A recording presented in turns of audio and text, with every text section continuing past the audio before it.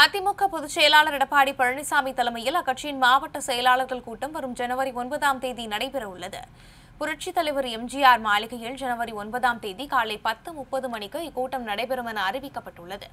அதிமுக பொதுக்குழு கூட்டத்திற்கு எதிராக உறுப்பினர் சண்முகம் தாக்கல் செய்த மனுவை சென்னை உயர்நீதிமன்றம் தள்ளுபடி செய்துள்ள நிலையில் இக்கூட்டம் மிகவும் முக்கியத்துவம் வாய்ந்ததாக பார்க்கப்படுகிறது.